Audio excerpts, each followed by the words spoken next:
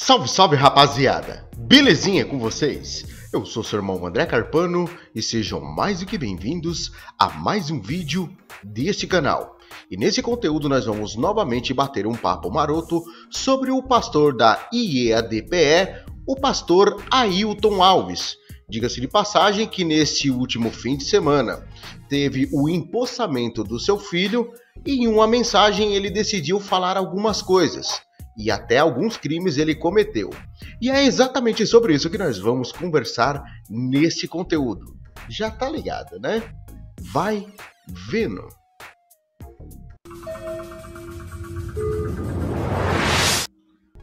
Pois bem, pois bem, pois bem, eu quero agradecer do fundo do meu coração a presença de todos os inscritos que estão nesse conteúdo com o like maroto fixado logo no início do mesmo, a todos que me seguem em minhas redes sociais, grupos do WhatsApp e também do Telegram para, além de interagir com a minha pessoa, sempre receber todo o conteúdo em primeiríssima mão. Agradeço o carinho e a atenção de todos pelo baixinho aqui. Galera, o negócio é o seguinte.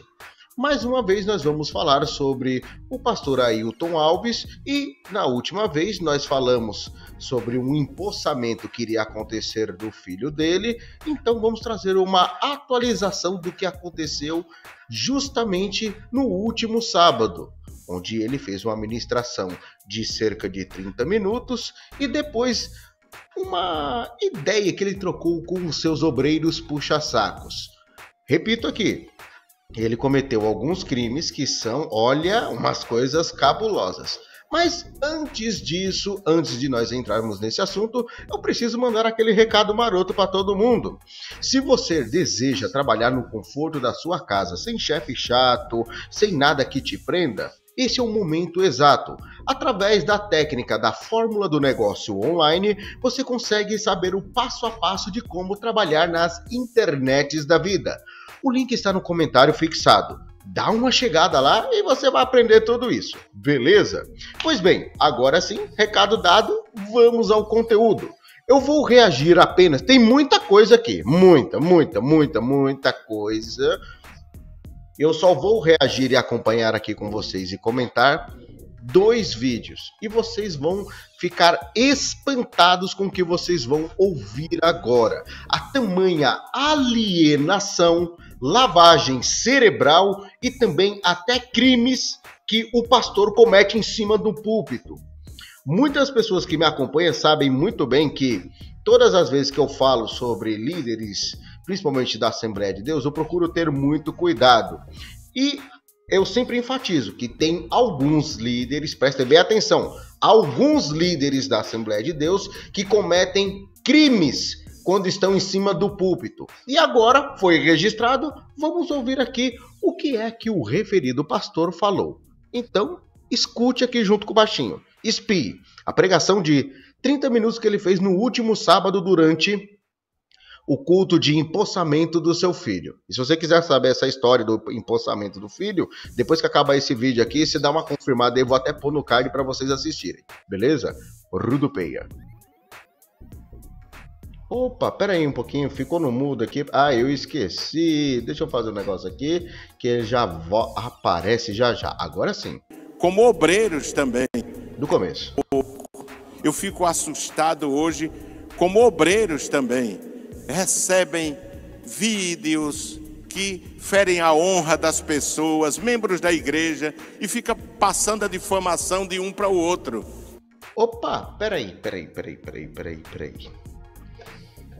Vocês já perceberam que ele está começando com aquele negocinho que nós sempre falamos aqui desde o primórdio, dos primórdios do canal, André Carpano? Ele é mais um pastor daqueles que são tidos como coronéis da fé. É típico, não estou dizendo que todos são, mas é muito típico isso na Assembleia de Deus, onde os pastores acreditam que tem um foro privilegiado gospel, que eles se blindam, se perpetuam no poder até o dia que eles bem quiserem entenderem. E ninguém pode discordar de nada. O, camarada tem muito, não digo que todos, mas tem muito pastor aí, com todo respeito a quem realmente é pastor, que eu, te, eu zelo muito por isso, tenho muito respeito, e quem realmente é pastor sabe que essas palavras não são para eles. Mas o camarada que finge que é pastor, que é meliante, que é envolvido com isso, aquilo, outro, o camarada tem a vida toda torta e tá lá em cima do púlpito arrotando santidade. Aí não dá, né? Não dá para sustentar uma coisa dessa. Vamos lá. Eu fico assim, digo, meu Deus, onde é que essa gente está? Hum. Eles ficam participando da difamação. Hum, como é o obreiro. É? O servo de Deus trabalha 20, 30, 40 anos no ministério, hum. nunca deu um mau exemplo. Nunca deu um mau exemplo, trabalhando 20, 30, 40 anos. Eu gostaria de perguntar para o senhor Ailton José Alves por que, que o senhor colocou o seu filho para ser para empossar uma igreja aonde ele nunca bateu um prego. Por que, que o senhor fez isso?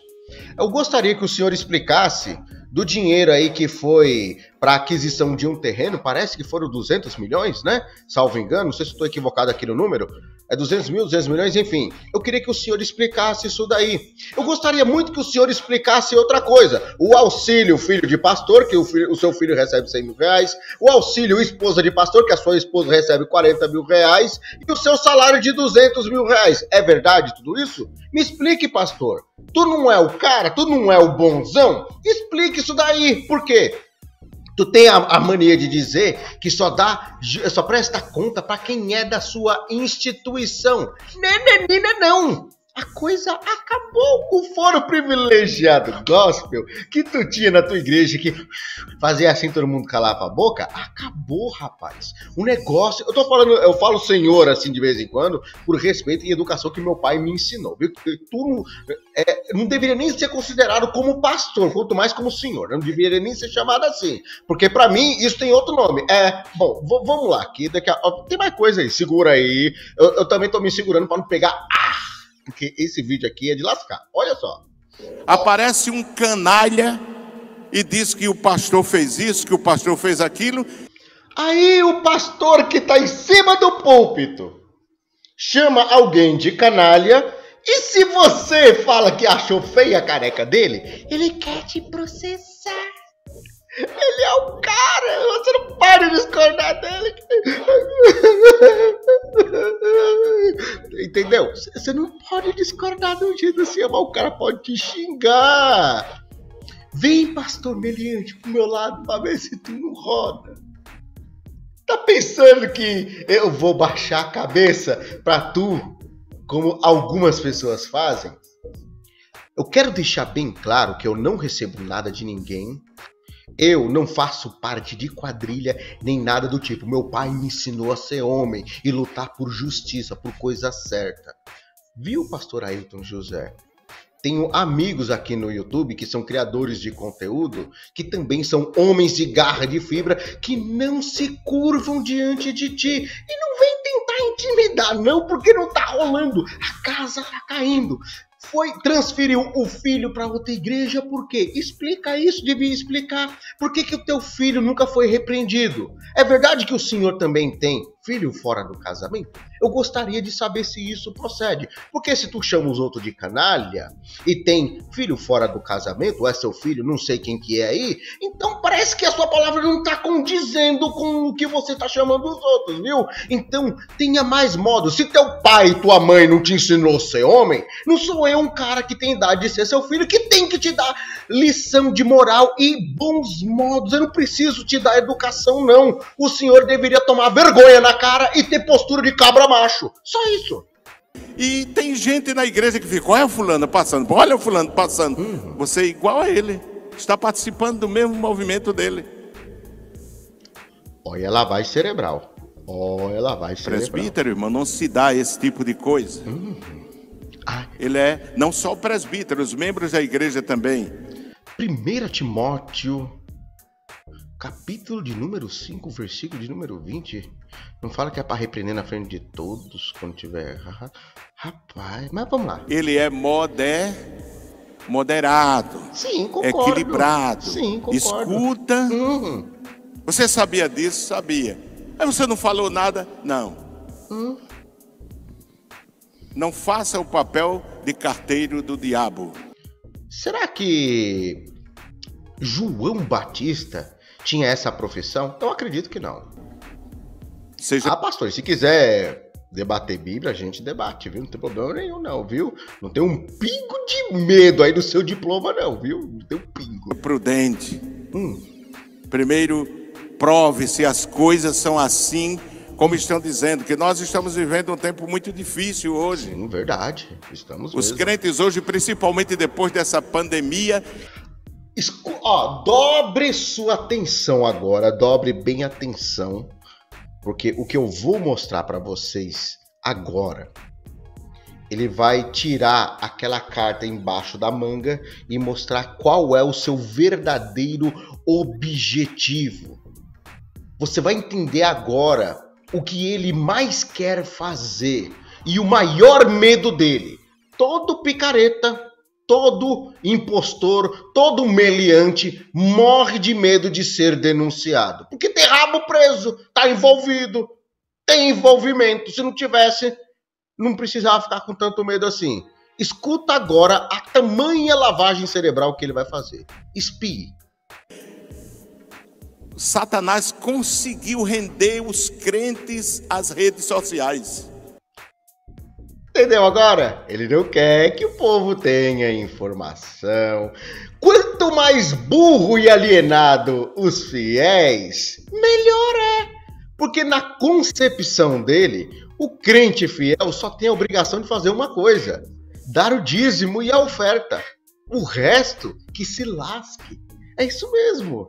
Na mente dele e de todo lobo devorador, é apenas que o fiel tem a obrigação de contribuir financeiramente. É a única obrigação da pessoa. Fora isso, ela não tem que saber de mais nada o que acontece. Ó, oh, passa um zíper, é segredinho. Não quer que o povo saiba o que está rolando de plano de fundo. Mas rudo peia.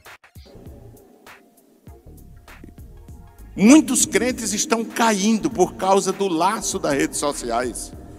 Ao invés de ler a Bíblia, de buscar a Deus, estão totalmente envenenados.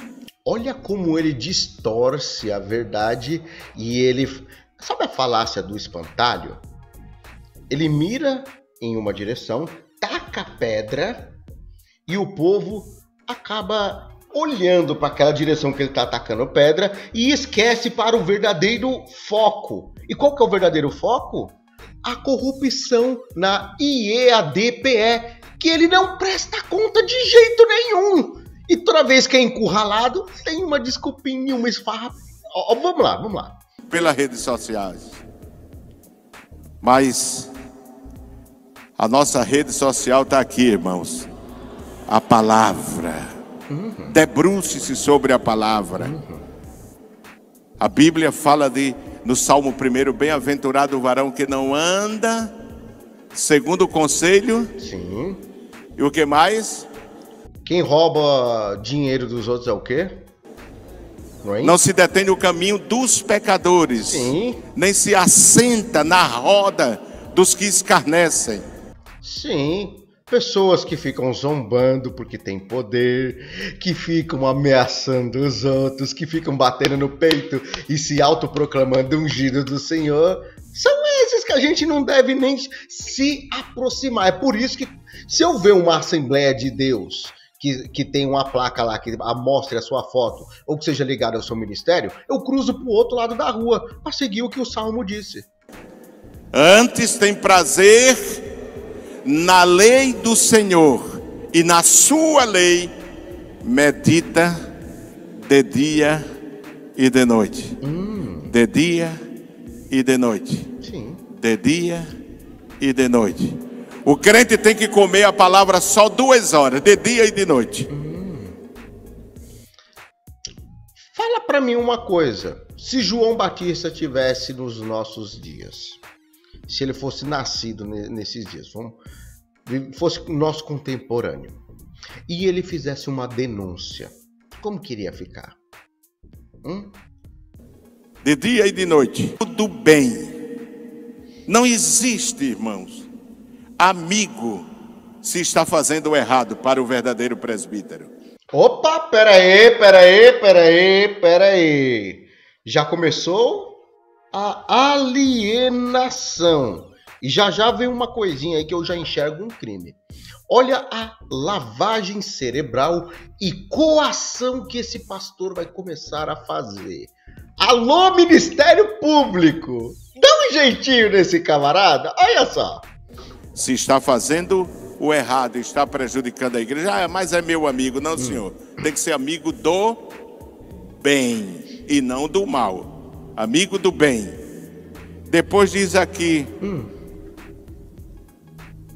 Vocês entenderam, né? O que ele já disse. Para se afastar de amigos que discordam dele. Para se afastar de quem questiona ele. Para se afastar de quem contesta ele com a verdade. Pelo pouco que eu entendo, isso é preconceito, isso é racismo.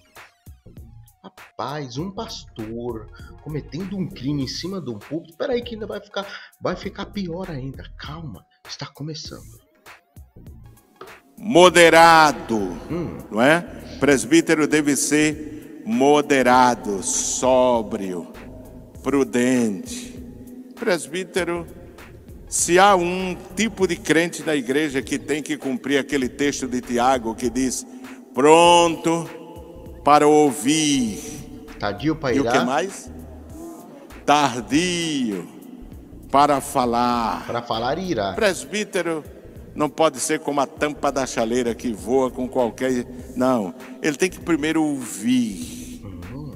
Os problemas tem que ouvir. E ouvir os dois lados sempre procurar ter prudência. Concordo. Agora vamos tentar ouvir qual que é a prudência dele. Vocês estão sentados? É sério, estão sentados. Vou, vou, ó, vou até pegar o café ungido aqui. Se você não tiver sentado, se sente. Pegue o seu café ungido. Eita maravilha.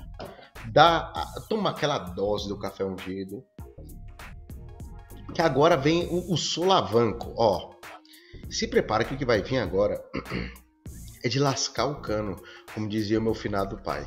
O que vem agora é de arrupiar. Deixa eu até fechar essa página, pronto. É de arrupiar. Escuta só a presepada que esse falso profeta, esse lobo devorador, falou. Ele xingou, ele me dá o direito de xingar ele. Porque eu não sei se ele tá falando de mim, eu não sei se ele tá falando de algum amigo meu, eu não sei de quem que ele está falando. Se ele xingou de canalha, ele me dá o direito de xingar ele também. E se vir processar, vai tomar também. Não tem essa não. Vamos lá. Triarcal, em que até a, a esposa do filho, quem escolhia era o pai. Olha só, ele falando sobre a família patriarcal, que é a esposa do filho, ele está se referindo aos costumes das Assembleias de Deus e dos presbíteros que a família patriarcal, o pai escolhia a esposa para o filho. Olha só as ideias. Olha só as ideias. Vem que ele escolheu a esposa para mim, para ver se eu não. E porque ele já tem denúncia de é ele que tem que escolher quem vai casar com quem, quando o obreiro vai ter filho, quando o obreiro vai ter a sua família, onde vai trabalhar. Venha fazer isso comigo. Venha, velho capirotesco. Venha, besta-fera, para tu ver. Venha. Rodopeia. Não é isso, mas nós entendemos de que é, o presbítero é aquele homem que governa bem, que cria seus filhos para hum. servir a Deus. Até aí tudo bem, agora vem a lapada. Não é isso? Não se admite que um presbítero crie os seus filhos para ser batista ou presbiteriano ou católico. Oh, oh, oh, opa, opa, opa, opa, opa, opa. Peraí, peraí, peraí, peraí, peraí. Peraí, peraí, peraí, peraí. Eu vou até voltar essa parte aqui para vocês ouvirem bem aqui comigo. Vou voltar para vocês prestarem bem atenção na fala desse pastor meliante. Olha só. Triarcal. Sem corte. Em que até a, a esposa do filho, quem escolhia era o pai. Hum. Não é isso? Mas nós entendemos de que é, o presbítero é aquele homem que governa bem uhum. que cria seus filhos para servir a Deus. Certo. Não é isso? Não se admite que um presbítero crie os seus filhos para ser batista ou presbiteriano ou católico. Opa, peraí, peraí, peraí, peraí, peraí, peraí, peraí. Isso que ele está fazendo é o quê? Isso não é racismo? Isso não vai de encontro com a lei, aonde ele está proibindo o direito da liberdade religiosa das pessoas. Não existe base bíblica, versículo bíblico falando que o pai deve proibir o seu filho de ser de igreja A, igreja B ou igreja C. Isso é insustentável. E eu gostaria muito, muito mesmo, que os nossos irmãos católicos, que os nossos irmãos batistas, nossos irmãos presbiterianos se posicionassem sobre isso. Eu gostaria do fundo do my heart, porque esse vídeo nós vamos fazer rodar os quatro ventos e eu quero saber eh, o, o que, que ele vai dizer justamente para os nossos irmãos na fé. Eles têm outras denominações? Tem, mas nós devemos sempre respeitar. Quando um camarada tem esse tipo de atitude, mostra o quão ditador, controlador, megalomaníaco ele é. E esse homem é assim, não é à toa que Deus está passando ele, sabe, dando aquela limada. E não venha dizer não, pastor Ailton José, que Deus não está, não, porque ó, ele é o oleiro, ele cata o vaso e é ele que quebra a massa, faz do jeito que ele quer. E tu tá sendo quebrado. Pode rir, fazer cara de inocente, o que quiser, mas sabe muito bem que Deus tá de. E, e eu sei que o senhor me assiste! Eu sei que o senhor assiste os canais que também falam de ti na internet. Hum, me diga uma coisa, pastor Ailton. É uma pergunta que eu vou fazer aqui pro senhor. É verdade que o senhor tá de tornozeleira? E só pode ir até um certo lugar, tem lugar que o senhor não pode ir. É verdade? E para sair para um culto como esse, tem que pedir permissão? Me explica, é verdade ou não é? Por favor, me explique isso daí. É, fala se isso procede ou não. estou perguntando, estou acusando. É verdade? Procede ou não procede aí, né? Porque. Ah, olha, vamos, vamos lá. Ele tem que criar os seus filhos para serem assembleanos. Uhum. Porque ele é presbítero da Igreja Evangélica Assembleia patriarcal. Misericórdia. Depois que ele falou esse monte de gororoba, isso foi no último sábado, durante o culto que teve lá do empossamento do seu filho querido, né? O seu filho ungido, da dinastia gospel. Aí o que, que ele fez no outro dia, no domingo, dia 20? O que, que ele fez? Oh, domingo, dia 19, perdão. O que, que ele fez? Foi conversar com o pessoal no WhatsApp com os obreiros puxa-sacos ungidos. E me perdoe aí é, é, quem está me assistindo, mas eu tenho como prostituta. Então vamos chamar de prima, né? Os obreiros prima, sabe? Que se vende por cargo. É. Tem alguns lá que são, não tô dizendo todos, tem alguns lá que são, né? Inclusive, quem não gostou acabou vazando isso aqui, né? Mas eu vou mostrar para vocês a conversa. Eu não vou nem ler, vou só mostrar a conversa que eles têm. Depois vocês dão um pause para ver o que ele falou. Olha só o que, que ele falou, para tentar dar aquela engabelada, sabe? Olha só, a gente tem que tá pensando que não. Os próprios obreiros dele traem ele. Olha aqui, ó. Ó, pastor presidente, ó, aqui a fala dele, ó, continua, precisamos falar de aqui, ó, desfere, fale compromisso. Aí o puxa-saco dele chegou lá, pum, tome. Aqui, ó, o mesmo grupo, gestores, gabinete, pura verdade, meu pastor, os puxa-saco, esse aqui, ó, é ciente, nenenê, nenenê, mas é um lambibota mesmo. Peraí, não acabou não, ainda tem. Aqui, ó, a gente bola pra cima, ó. Isso, isso daqui, ó. É, é, é, isso daqui é, um, é, uma prima daquela, sabe? Que, olha, das primas bem primada mesmo. Verdade, meu pastor presidente.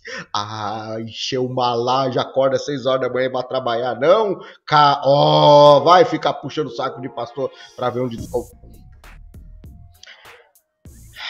complicado uma situação dessa. Mas e aí, meu brother? O que, que você acha disso? Minha irmã que está me assistindo, qual é a sua opinião?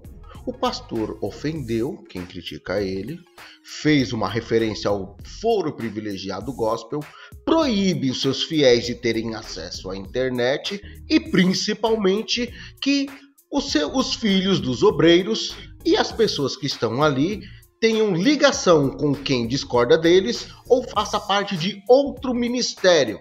Seria isso lavagem cerebral? Seria isso uma ditadura do meio gospel? O que raio é isso? Que eu não consigo mais nem encontrar definições e palavras para isso.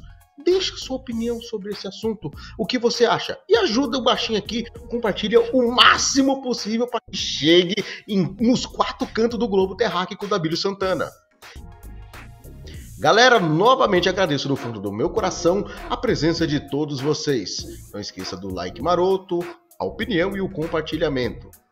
Fica de olho no canal, porque se aparecer alguma coisa, tá ligado, né? Tamo de volta. Deus abençoe o Brasil, Deus abençoe a nossa nação. E eu fui.